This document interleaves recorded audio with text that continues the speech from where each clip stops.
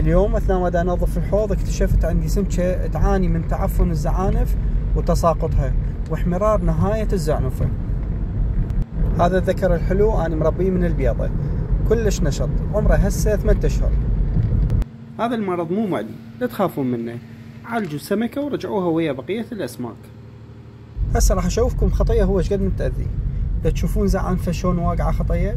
وهذا كله واني ما منتبه. بس إن شاء الله هسه أشوفكم شلون علاجه بسيط. نحتاج العلاج هاي السمكة. نحط سطح أملس. عند نخلي السمكة عليه غير نافذ للمي نحتاج جلاس مي خاشوقة ملح صخري أو بحري والمثلين بلو. من الضروري إذا أردنا نعالج الأسماك نستخدم ملح طبيعي أما صخري أو بحري. لأن الملح الصناعي يحتوي على المواد الحافظة. المواد الحافظة ضارة جدا بالأسماك. نحتاج خاشوقة ملح كوب نذوبها زين بالمي.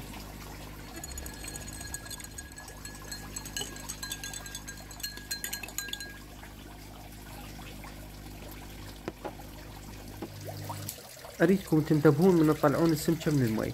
تطلعوها بكل بطء على مود يتنظم الضغط اللي بداخل السمكة. نوبات نطلع السمكة نرجعها للمي تنقلب السمكة على صفحتها. كل هذا بسبب إنه يختلف عندها الضغط بالحويصلات الهوائية اللي بداخلها اللي يسبب لها بعدها إنه تسبح السمكة بالمقلوب. ومع الأسف يكون علاجها كل صعب وبعض الأحيان ما له علاج. أبدي أمسح زعانفها بالمي اللي ذوبت بيه الملح قبل شوية.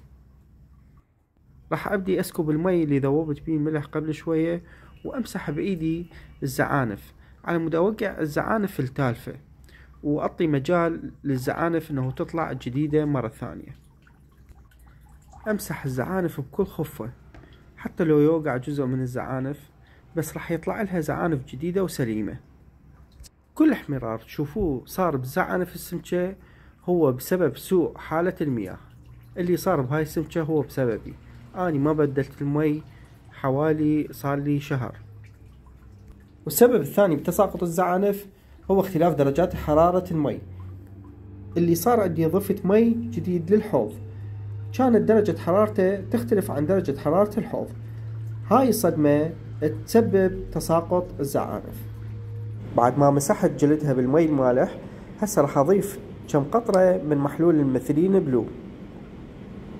هذا هذا يساعدها على الشفاء بسرعة. همي أنا راح أبدي أمسح الزعانف مالتها الباقية على كيفي على مود تسقط شكو زعانف آه، تالفة وأنطي فرصة إنه تنمو زعانف جديدة. اللي راح يصير راح تلاحظون إنه زعانف السمكة اللي تسقط وتطلع جديدة راح تطلع لها بغير لون يعني باللون الأحمر. بعدين ترجع تاخذ لون أبيض. ورا ما عالجتها أرجعها على كيفي بالمي. مثل ما قلت لكم عن لا يصير عندها اختلاف بالضغط وتنقلب السمكة على جانبها.